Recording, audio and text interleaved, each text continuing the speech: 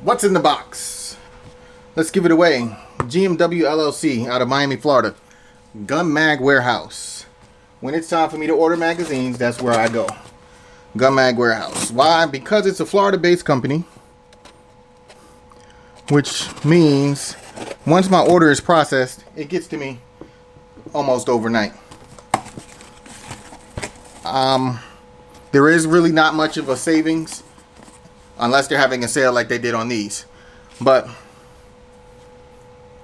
I got 10 of these magazines. They're the Magpul Gen 3 and it's their sand color. Damn near white. So what's in this box? Three, four, five, six, seven, eight, nine, ten. Okay, so February has turned out to be the month of the magazine for me. I've been ordering mags all month. I got 20 of these from Gun Mag Warehouse. These were on sale, and I believe it was just the sand option that was on sale. They were under $10 a piece. After everything was all said and done, I think I spent 100 bucks on them.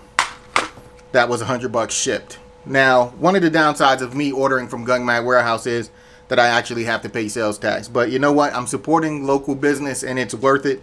Once the order is processed, they usually arrive, arrive the next day. So we're talking about a two or three day turnaround for me. Sometimes it's as many as five days, but I think that all depends on how busy they are. And I'm sure they were quite busy this week with everything that's going on here in Florida. But the options I have with these, um, I could break out my airbrush and Cerakote them, or I could take them out to Blackout Custom Cerakote and have them Cerakote them for me. I can actually use rattle and just paint them. I can leave them as they are, or, or I can follow Nick Chin's lead and actually dye them and come up with my own color for these magazines. Now I have 20 of them, which is what I would call enough for a kit if I wanted to put together a kit for a specific gun or caliber. So maybe I'll designate these with a 6.5 Grendel and go from there. So stay tuned for that. Well, there you have it, folks. Gun Mag Warehouse is where I buy most of my, my magazines. Now, the guns in my collection are ARs, Glocks, a couple of AKs. Nothing really exotic.